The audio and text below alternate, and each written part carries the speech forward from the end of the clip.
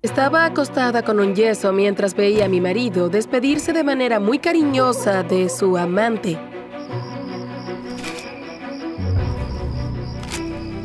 Esa tarde, Michael me escribió pidiéndome el divorcio. Sin embargo, con mucha determinación decidí que no se lo daría. Amanda, ¿qué te sucedió? Le dije que después de leer su cruel mensaje, me había desmayado y que ahora estaba enyesada en el hospital. Michael se sintió culpable y se le olvidó hablarme del divorcio.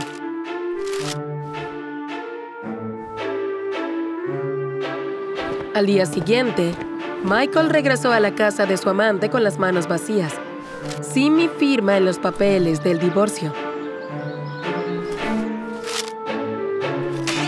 Ella lo abofeteó y yo saltaba de la alegría.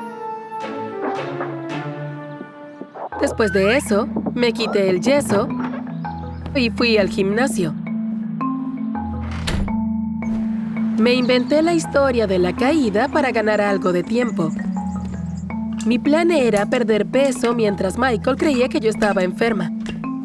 Entonces, después de que me pusiera en forma, Michael se daría cuenta de que no podía dejarme y todo volvería a ser como antes. Mi entrenador me dijo que no me excediera.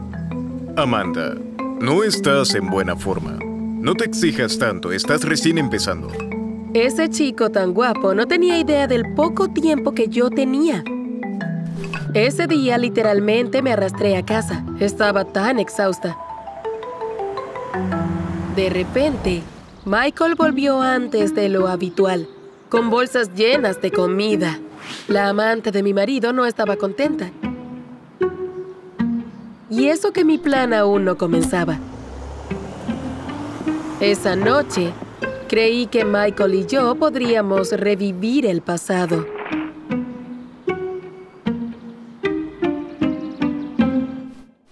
Antes de dormir, le dije a mi marido que el yeso no era un impedimento. En caso de que quisiera hacer travesuras. Sin embargo, Michael no dijo nada. Se dio la vuelta y empezó a roncar. Mientras soñaba, decía mi nombre una y otra vez. Amanda, Amanda, déjame ir, Amanda. Fue una llamada de advertencia en relación con lo que sucedería a la mañana siguiente. Michael se despertó antes que yo, empacó sus cosas y me dijo que no podía seguir viviendo con alguien a quien no amaba. Marta quiere que me mude con ella y cree que me estás manipulando. ¿Manipulando? ¿Cómo haría eso? Por supuesto que puedes ir. Solo te pido que me contestes en caso de una emergencia. Dije en caso de que me cayera por las escaleras de nuevo y me rompiera el cuello. No tengo a nadie más a quien llamar. Te he dedicado los últimos 10 años de mi vida. Yo conocía a Michael y estaba segura de que me diría que sí. Cabizbajo, se acercó a su amante y le dijo que iba a visitarme dos veces por semana. A ella para nada le gustó. Su amante sacó la maleta de Michael del maletero y lo llamó débil antes de irse. Me di cuenta de que muy pronto todo volvería a ser como antes con mi marido. No me imaginaba que sería una victoria tan fácil.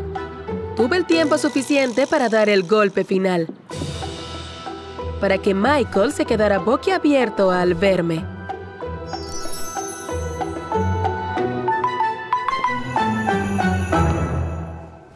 Después de todo, recibía muchísimos elogios de hombres todos los días.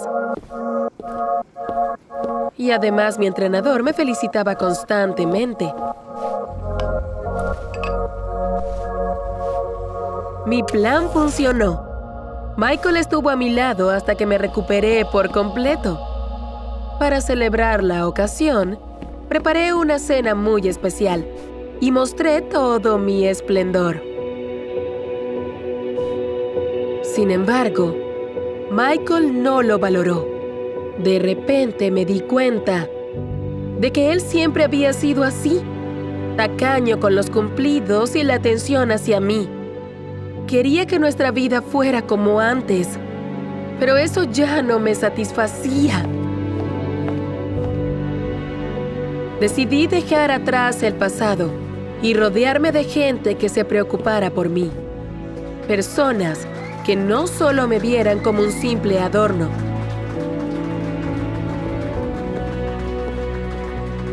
Y funcionó. Finalmente fui feliz después de darme cuenta de esto.